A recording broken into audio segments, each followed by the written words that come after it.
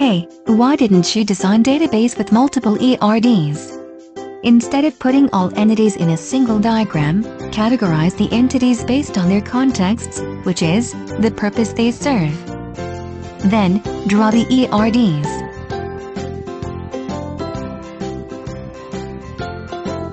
One diagram for each context. So you end up having a set of context-based diagrams.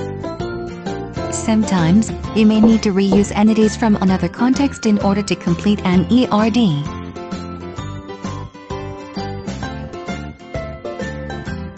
With these ERDs, you can generate your database.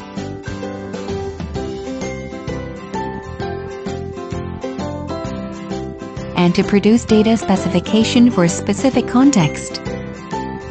With entities neatly presented in data dictionary and with clear description of columns.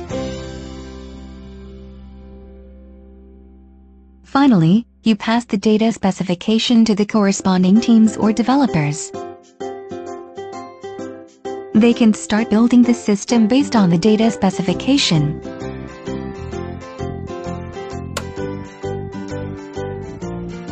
Embrace simple design and get rid of complex ERD. If you have any questions, please feel free to contact us.